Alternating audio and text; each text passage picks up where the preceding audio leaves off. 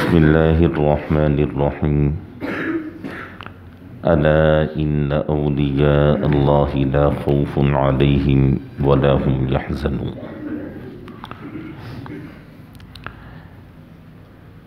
हमारे मुल्क पाकिस्तान की एक बहुत बड़ी इल्मी शख्सियत गुज़री हैं, जिन्होंने दीन की बड़ी खिदमत की है और यहाँ तक कि उन्होंने कुरान मजीद की तफसीर भी लिखी है। तो उन्होंने अपना एक वाक़ लिखा है, बड़ा ख़ूबसूरत वाक़ है। तो मेरे दिल में आया कि वो वाक़ आप दोस्तों की खिदमत में भी अर्ज़ कर दिया जाए।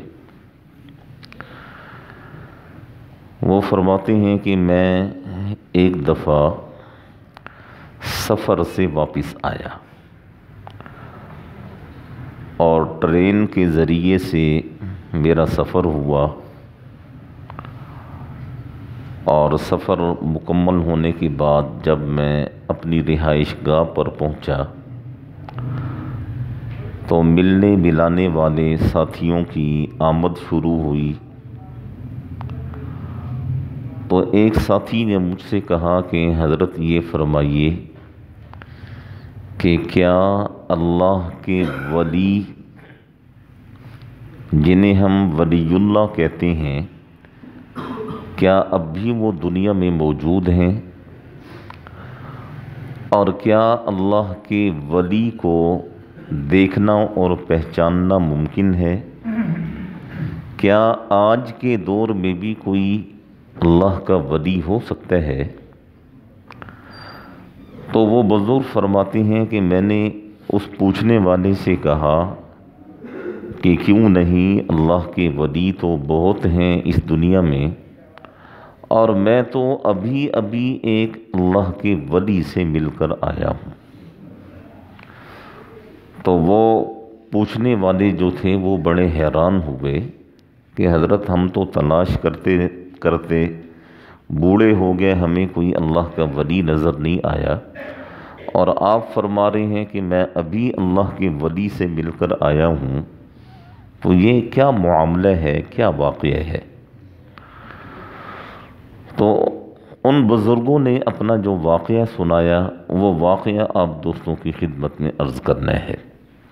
वो फरमाते हैं कि मैं जब रेलगाड़ी से स्टेशन पर उतरा। तो आम तौर पर आप लोगों ने देखा होगा कि अगर किसी मुसाफिर के पास सामान ज़्यादा हो तो चार, पाँच छः कुली उसे घेर लेते हैं कि हम आपका सामान उठाकर बाहर ले जाएँगे, हमें इतने पैसे दे दें, हमें इतने दे दें, हम उठा लेंगे। तो चार, पाँच कुलियों ने उन्हें घेर लिया। और किसी ने कहा, जी, आप हमें इतने पैसे दे दें। किसी ने कहा, इतने पैसे दे दें। तो वो बुज़ुर्ग फरमाते हैं कि मैं उधर इधर देखने लगा तो सामने मुझे एक कुली नज़र आया। वो जो पाँच छः खड़े हुए थे, उनके अलावा मैं इधर उधर देख रहा था तो सामने मुझे एक कुली नज़र आया और मैं उसकी कैफियत देखकर हैरान रह गया कि वो खड़ा हुआ है और नमाज़ पढ़ रहा है।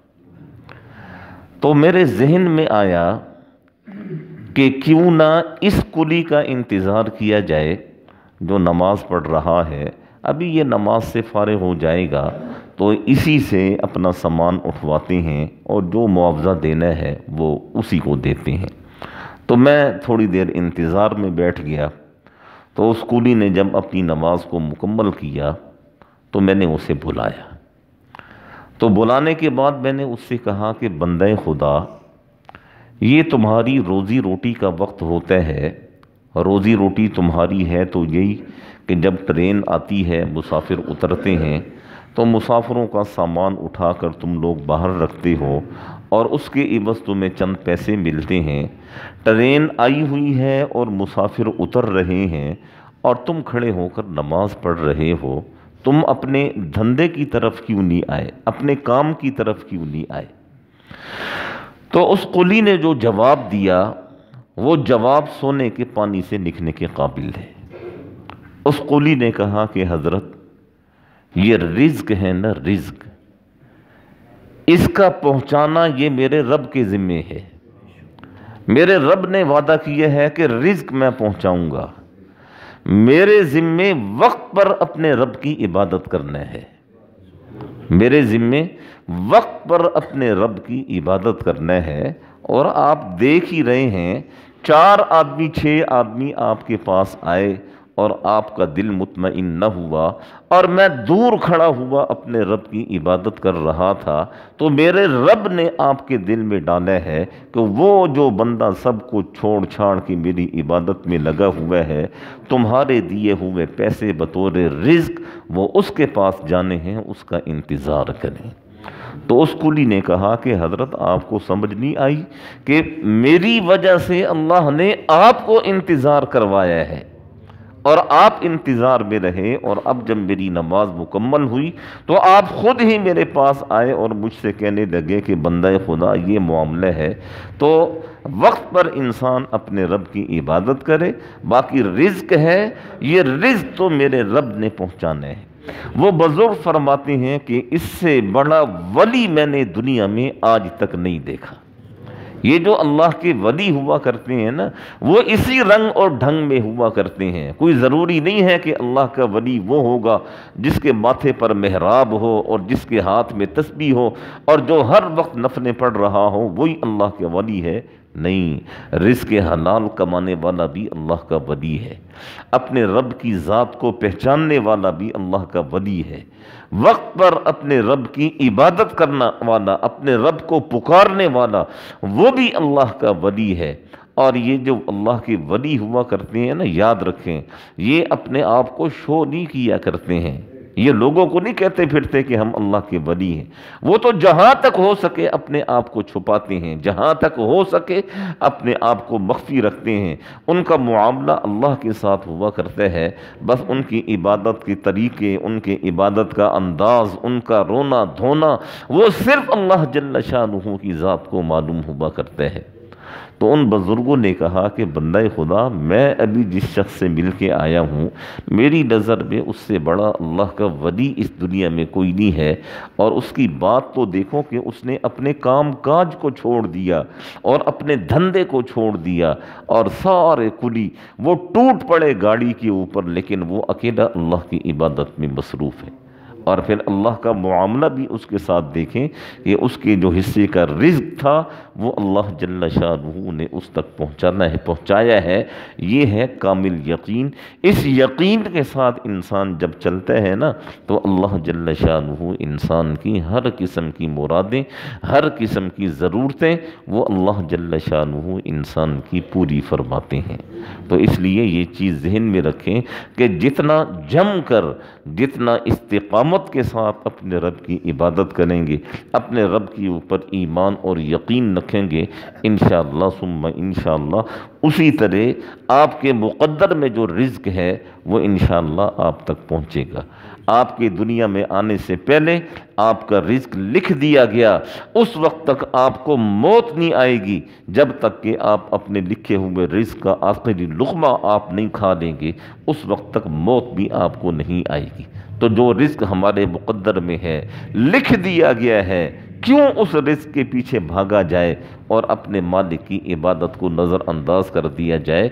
नहीं, अल्लाह जल्ला फरमाते हैं, हमने खलक़ुलजन्ना बल इंसा लियाबुदून। हमने तो इबादत के लिए बात पैदा किए है, बस हमारी इबादत किए जाओ। हमारी इबादत किए जाओ, सब कुछ तुम्हारे कदमों में आ जाएगा, ढेर हो जाएगा, ये दुनिया तुम्हारे कदमों में आ जाएगी, लेकिन शर्त ये है कि सही माना में अपने रब को पहचानो। सुल्तान महमूद गजनबी का नाम सुना है ना आपने? सुल्तान महमूद गजनबी के बारे में लिखे हैं कि ये रात को उठ उठ कर गश्त किया करता था। और कभी महल्लों में, कभी गलियों में, कभी सड़कों में, कभी कहाँ कभी कहाँ रियाया के हालात मालूम करने के लिए। तो एक दफ़ा सुल्तान महमूद गजनबी का गुज़र एक तंदूर के पास से हुआ। सख्त सर्दियों की रातें थीं और वहाँ क्या देखते हैं कि एक फटी पुरानी चादर डाल के एक मज़दूर जो है वो सोया हुआ है। तो सुल्तान महमूद गजनबी ने उसे उठाया और उससे पूछा कि तुम कौन हो? तो उसने कहा, जी, मैं मज़दूर हूँ, मेरे पास कोई ठिकाना नहीं है, सारा दिन मैं मेहनत मजदूरी करता हूँ तो रात को सोने के लिए मैं यहाँ आ जाता हूँ, रात मैं यहाँ गुजारता हूँ, जब सुबह होती है, फिर मैं उठ के अपने काम काज पे चला जाता हूँ। तो सुल्तान महमूद गजनबी ने उससे कहा कि, ये बताओ तुम्हारी रातें कैसी गुज़रती हैं? तुम्हारी रातें कैसी गुज़रती हैं? तो उस मज़दूर ने बड़ा अजीब जवाब दिया। उस मज़दूर ने कहा कि, सुल्तान, आधी रात तो ऐसे गुजरती है जिस तरह आपकी गुजरती है। आधी रात ऐसे गुजरती है जिस तरह आपकी गुजरती है। और बकिया आधी रात आपकी आधी रात से भी बेहतर गुजरती है मेरी। तो सुल्तान महमूद गजनवी हैरान हो गया कि मैं एक सुल्तान आदमी और मैं आराम से रहने वाला, आराम से सोने वाला आदमी और ये एक मज़दूर मुझे कह रहा है कि आधी रात बिल्कुल उस तरह गुज़रती है जिस तरह आपकी गुज़रती है और बकिया आधी रात, आपकी आधी रात से बेहतर गुज़रती है, ये क्या कह रहा है? तो सुल्तान ने उस मज़दूर से कहा, मियाँ, क्या कह रहे हो? अपनी बात की वजाहत करो। तो उस शख्स ने कहा कि सुल्तान, सर्दियों की रातें हैं, रात का पहला हिस्सा आप भी सोते हैं और आप गर्म लिहाफ में सोते हैं। मैं यहाँ तंदूर पे आकर सो जाता हूँ। आधी रात तक तो ये तंदूर गर्म रहता ही है। तो आप भी गर्म होकर सोते हैं, मैं भी गर्म होकर सोता हूँ। आधी रात के बाद ठंड भी ज़्यादा पड़ जाती है, तंदूर भी ठंडा हो जाता है तो सर्दी हो जाती है। आप गर्म सोए रहते हैं, लेकिन मैं खड़े होकर अपने रब की इबादत करता हूँ। आपकी बकिया आधी रात सोने में गुजर जाती है, मेरी बकिया आधी रात अपने रब की इबादत में गुजर जाती है। आप ही बताएँ कि यह रब की इबादत करना ज़्यादा बेहतर है या रात को सोना ज़्यादा बेहतर है? तो सुल्तान महमूद गजनबी ने कहा कि हाँ वाकई तुम्हारी आधी रात, ये मेरी आधी रात से बहुत बेहतर गुज़रती है। तो इसलिए ये तोफ़ी तोफ़ी की बात है अल्लाह जल्ल शाह जिसे तोफ़ी अता फरमा देते हैं अपने सामने खड़ा होने की तो वो अपने रब के सामने खड़ा हो जाता है। और ये तोफ़ीक मांगी जाए तो ज़रूर अल्लाह जल्ल शाह तोफ़ीक अता फरमाते हैं। मांगने के बाद फिर थोड़ी सी कोशिश भी की जाए। देखें, आजकल ना सात बजे ईशा की नमाज़ है। ये सवा छः बजे हमने फजर की नमाज़ पढ़ी है। ये तकरीबन ग्यारह, साढ़े ग्यारह घंटे हैं पूरी रात के। और डॉक्टर भी कहते हैं कि छः सात घंटे अगर इंसान सोए तो इंसान की नींद पूरी हो जाती है। छः सात घंटे सोने के बाद चार, साढ़े चार, पाँच बजे अगर उठा जाए और दो, चार, पाँच छः आठ नफल पढ़े जाएँ और कुछ थोड़ी सी तस्बीहात की जाएँ कुरानी मजीद की तिलावत की जाए तो बाबा आपसे बड़ा वली इस दुनिया में कोई नहीं है। यकीन मानिए, आपसे बड़ा अल्लाह का वली इस दुनिया में कोई नहीं है। अगर थोड़ी सी तरतीब अपनी, वो ढंग की बना दें और अपने आप को थोड़ा सा तरतीब के अंदर ढाल लें। वरना भाई, गुज़र रही है ना गुज़र गई है, थोड़ी रह गई है, ज़्यादा गुज़र गई है, वो थोड़ी भी गुज़र जाएगी। लेकिन इस तरह जो है ना, वो मज़ा नहीं आएगा। मज़ा ये है कि अपने आप को थोड़ा सा इतात की तरफ़, इबादत की तरफ़ लाया जाए और पाबंद किया जाए और पाबंद होकर अपने रब की इबादत की जाए। फिर अल्लाह जल्ल शाह चेहरे पर भी नूर अता फरमाएँगे और दिल भी अल्लाह जल्ल शाह नूर से भर देंगे। फिर आप देखिएगा कि आपकी ये ज़िंदगी भी कितनी पुरसकून गुज़रती है और मरने के बाद की ज़िंदगी तो इन है ही पुरसकून। दुआ फरमाएँ, अल्लाह जल्ल शाह हम सबको सही माना में समझने की, अमल करने की तोफ़ी नसीब फरमाए। बसमिल्लर